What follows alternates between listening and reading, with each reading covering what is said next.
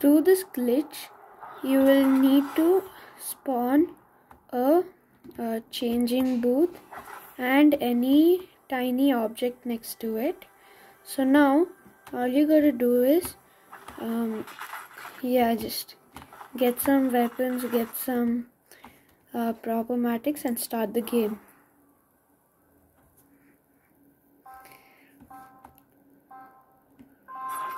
now all you gotta do is go to the place there. Take one Prop-O-Matic. See select this and then jump there okay? So you have to I didn't do it still. You have to select this and jump in when it's counting down.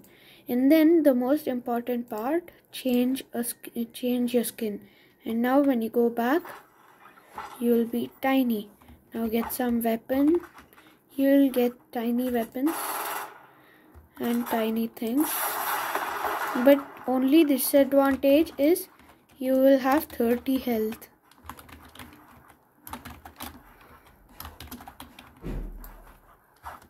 So that's it. Thank you